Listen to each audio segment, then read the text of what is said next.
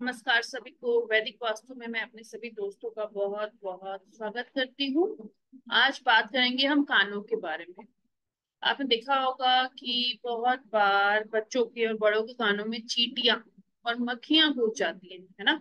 हम चल रहे हैं और चलते चलते एकदम से कोई मक्खी कान में घुस जाती है है ना? और फिर आपको पता है कितनी प्रॉब्लम होती है और हम भाग के कई बार ऐसा होता है कि डॉक्टर पास नहीं होता या टाइमिंग ऐसे नहीं होता कि हम डॉक्टर के पास जा चुके और दूसरी बात, गाँव में अक्सर देखा गया है कि लोग ज़मीन पे सोते हैं, बच्चे ज़मीन पे सोते हैं, घरों में भी ज़मीन पे सोते हैं तो कई बार चीटी चढ़ के कान में घुस जाती है। फिर हम डॉक्टर के पास जाते हैं और कई बार पैसे नहीं होते, कई बार डॉक्टर हमारे घर के पास नहीं होता और प्रॉब्लम थोड़ी क्रिटिकल हो जाती है ना? क्योंकि कान बहुत सेंसिटिव एरिया है हमारी बॉडी। तो हम आयुर्वेद के हिसाब से क्या कर सकते हैं? फिटकरी सबको पता है, जो हम शेव के बाद यूज़ करते हैं, है ना?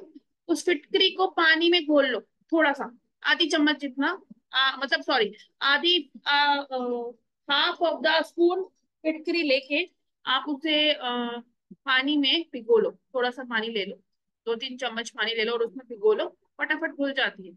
उसके बाद उसके बाद आप फिटकरी के उस पानी को दो चार बूंदे ड्रॉपर से डाल लो या हाथ से दो चार बूंदे तीन चार बार दस दस पंद्रह पंद्रह मिनट के गैप में डालेंगे तो वो जो कीड़ा और मक्खी होगा गिर मर के बाहर आ जाएगा अपने आप तो this is the very simple technique of Ayurveda किसी किताब में नहीं मिलेगा ये आपको। आप सर्च करके देखें। थैंक यू सो मच फिर मिलेंगे एक नई वीडियो